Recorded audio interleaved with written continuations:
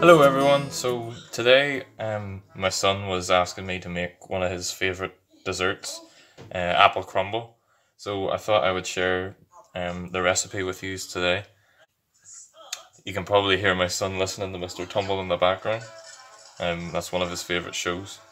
So first step is you want to take your apples. I have one cooking apple and four red gala apples. And you can also use Braeburn apples, they're quite good as well.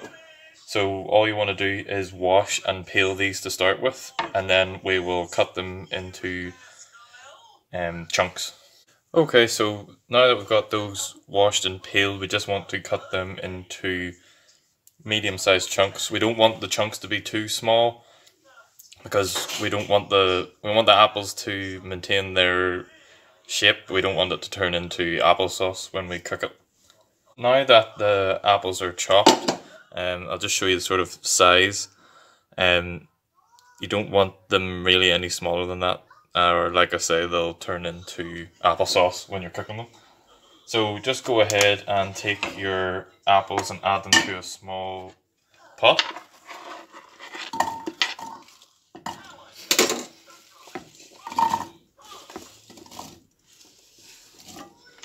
And next step um, is we're going to add our sugar and cinnamon.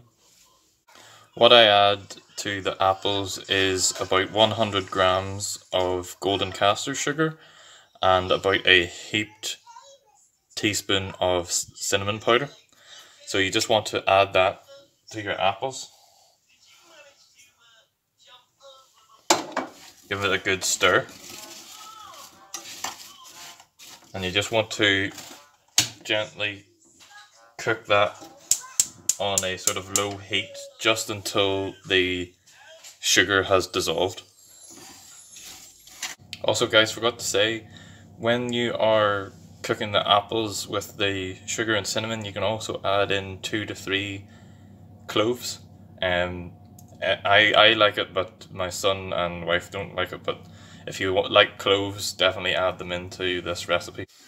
As the apples cook, um, they'll start to release some of their juice and then the sugar will start to dissolve into that juice. So these are nearly done at this stage. Uh, and once that's all dissolved, you just want to turn it, turn the heat off.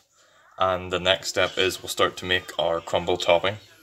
So into a bowl, um, I've added about 80 grams of all-purpose flour, 3 large tablespoons of flora, or if you want you can use butter.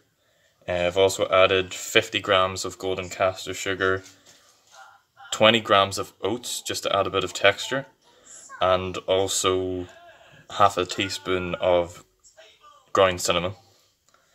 So you just want to kind of, with a fork, you can do this in a food processor if you want, but I prefer just to use a fork um, I kind of just mash the flora or butter into the flour and sugar mix.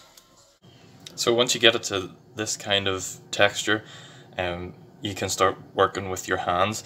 Now you probably will need to add a little bit more flour at this stage. Uh, I just don't like to add too much flour at the start.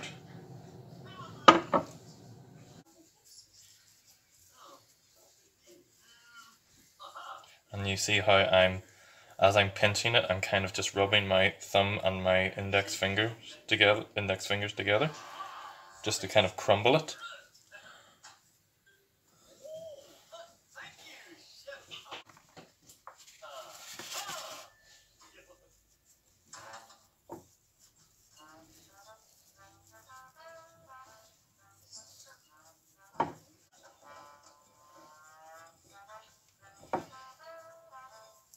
You just want to keep adding flour and breaking up those larger chunks until everything is into just a nice crumbly texture.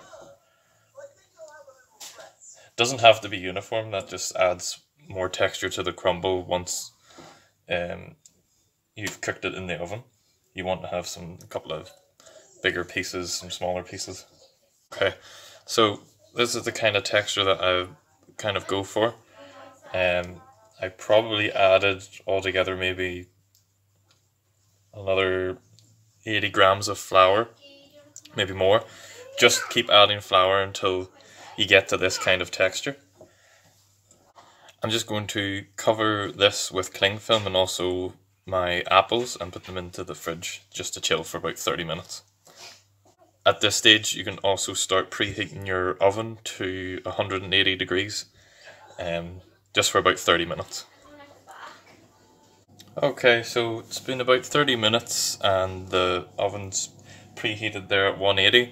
Um, I've put my apples and the all the the juices as well into a pie dish. I just take my crumble mix and just sort of evenly scatter it around. I usually just start at the edge and make my way around. So once you have that all spread over evenly, just take take your pie dish, put it into the oven on the middle shelf, and that will cook for about 20 to 30 minutes or until you get a nice golden color on top of the crumble. Okay, so after about 25 minutes, um, this is ready to take out of the oven, and this is what you're kind of looking for. Um, nice sort of golden brown top. Um, you may get some of the sauce coming out from the sides as well. That's okay. Uh, I would suggest using um, a dish that is deep, so just in case this does happen, it doesn't start pouring out the sides and ruin the bottom of your oven. So definitely give this a go yourself, guys, and don't forget to hit the like button and comment and subscribe, please. There'll be plenty more of these recipes to come. Thanks, guys. See you later.